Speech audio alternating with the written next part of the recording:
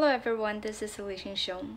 I believe my strong academic backgrounds and my professional skills in using data analysis softwares such as RStudio, Python, Stata, and all of my passions in finance fields can be contributed to USC Business Analytics program. I would love to share my internship in experience in finance seminar. For example, last August, I joined the Strategic Investment Department of Fosun Group and participated in the investment cases with two celebrated enterprises. During my internship, I not only elevated my ability to concur an investment project, but also upgraded my perception of hidden message when calculating the attendant risk of a specific investment.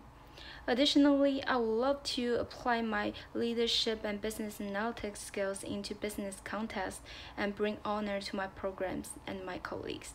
Thank you for watching this video.